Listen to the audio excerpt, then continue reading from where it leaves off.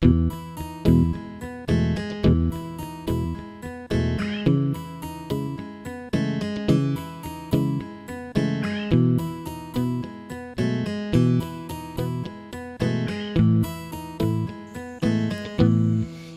agayat Mangted sa MT gasat. Ngemisulang iti amok at banag Ket narigat Dala ng pegges iti biyag Ngemisulang iti ti ragsak. Idulin tay babaen tiladawan Paspasa makti naglabas Tay awan iti nakakidem. Awan marig na asaem Tay saan nga agkutit lubungen Isungay do linag Di tamon sa maong apigis Pigis. Sanak mingmingan ti kasta Nay Ket di kantuag may may sa Ingat isa sangbay ko ken ka.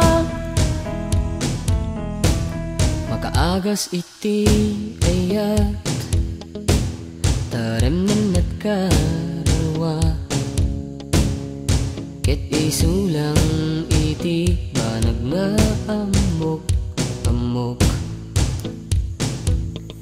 Ikarik ka nalaklaka Lagi dem nga iti tunggal apaset mo Mm, ta isulang iti maitugot ti tanem tayo.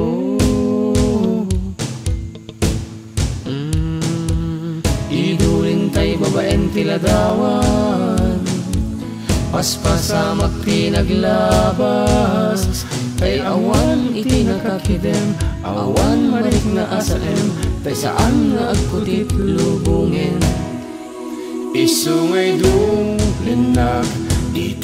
sa maong mo apigis Pigis Sanak mingmingan ti kasta o Nay Ket di kantuag may may sa. Ket nudangran na awan anyaman na tabalikas lang.